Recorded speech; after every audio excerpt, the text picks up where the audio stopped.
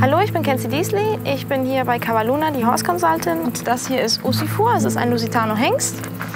Lusitano ist eine sehr alte, typvolle Rasse, die noch aus der Renaissance und auch für die Kavallerie benutzt worden ist, wo man früher dann auch die Dressur, eigentlich die Dressur dann auch herkommt.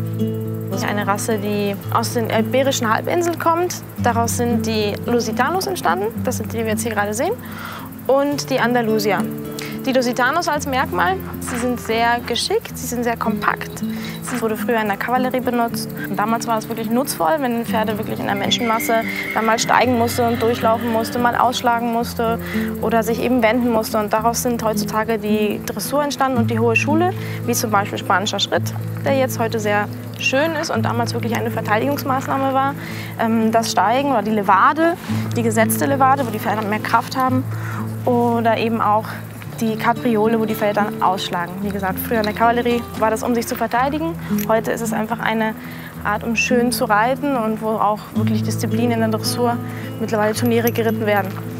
Merkmale sind auch, dass sie sehr schöne Pferde sind. Sie haben einen schönen großen Hals, sie haben große Augen, sie sind sehr typvoll, sehr charaktervoll vom Gesicht her und sie sind sehr spielerische, nette Pferde. Das heißt, eigentlich in der Show hast du sie sehr, sehr vielfältig einsetzbar. Du hast sie in der Dressur, du hast sie in der hohen Schule, du hast sie viel in so, in so Zirkuslektionen und du hast sie auch in der Freiheitsdressur, weil sie sich da frei auch sehr schön präsentieren können.